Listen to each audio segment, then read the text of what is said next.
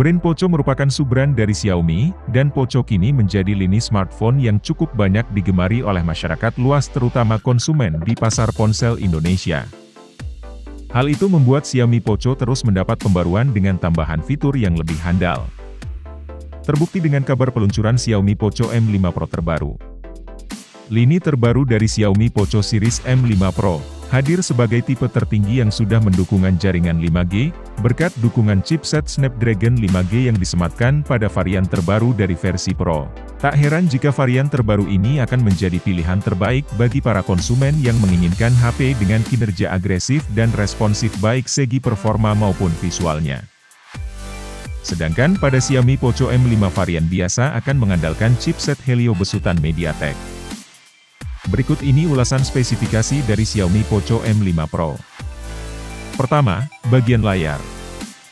Poco M5 Pro 5G tampaknya telah menerapkan dimensional layar penuh dengan 6,67 inci AMOLED, dengan kecepatan layar 120 Hz yang terbilang cukup rapi dan anggun. Kemampuan layar pada Poco M5 Pro 5G ini sanggup memberikan ketajaman resolusi Full HD+, serta memiliki aspek rasio 20 banding 9 tentu akan menjadikan visualisasi yang cukup jernih. Kedua, komponen hardware dan software. Selain kinerja dari spesifikasi Poco M5 Pro 5G tak bisa dilepaskan oleh susunan komponen hardware dan software yang dibawanya, Salah satu yang utama adalah penggunaan chipset dari Qualcomm, yakni Qualcomm Snapdragon 695 dengan fabrikasi 6 nanometer. Yang tentu berpengaruh kuat pada bagaimana gerak sistem kinerja dari ponsel tersebut. Penggunaan chip garapan Qualcomm pada Poco M5 Pro 5G ini menjadi salah satu kelebihan tersendiri, mengingat umumnya chipset ini digunakan pada beberapa smartphone kelas menengah atas. Dengan chip ini, tentu akan membuat kinerja ponsel menjadi lebih seimbang dengan efisiensi daya yang terkontrol. Di sisi lain Poco M5 Pro 5G juga telah membenamkan RAM 6GB dan 8GB yang sangat responsif dalam memberikan akses multitasking. Ditambah dengan beberapa varian memori internalnya antara 128GB dan 256GB yang diklaim sudah cukup memadai dalam menjamin penyimpanan.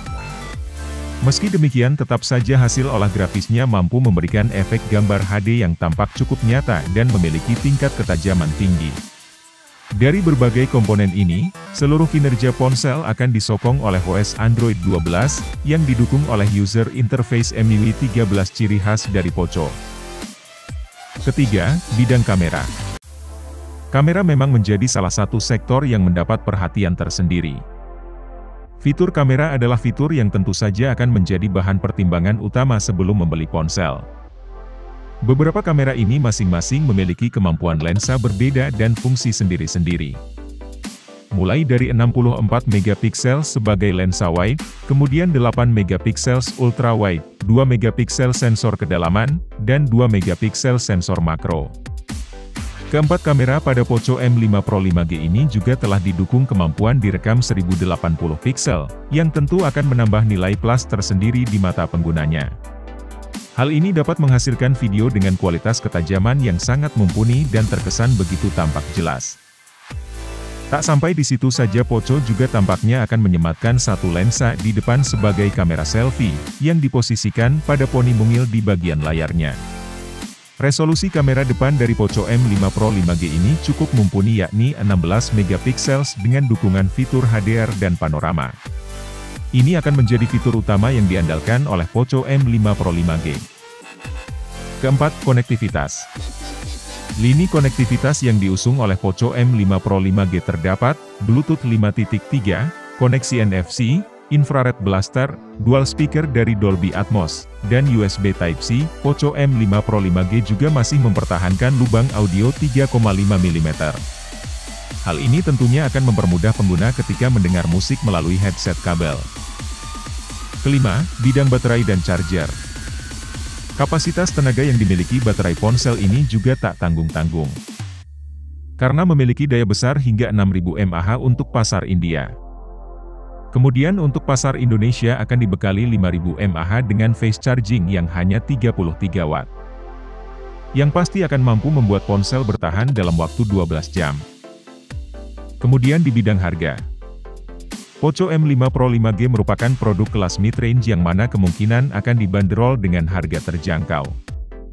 Ponsel ini kabarnya akan dibanderol seharga Rp16.000 India, atau sekitar 2,9 jutaan rupiah. Jika masuk ke Indonesia, kemungkinan harganya bisa berubah sewaktu-waktu. Tanggal rilis smartphone baru akan dirilis ke India pada akhir Agustus atau awal September 2022. Sedangkan Indonesia masih menunggu informasi selanjutnya dari pihak Poco atau Xiaomi Indonesia.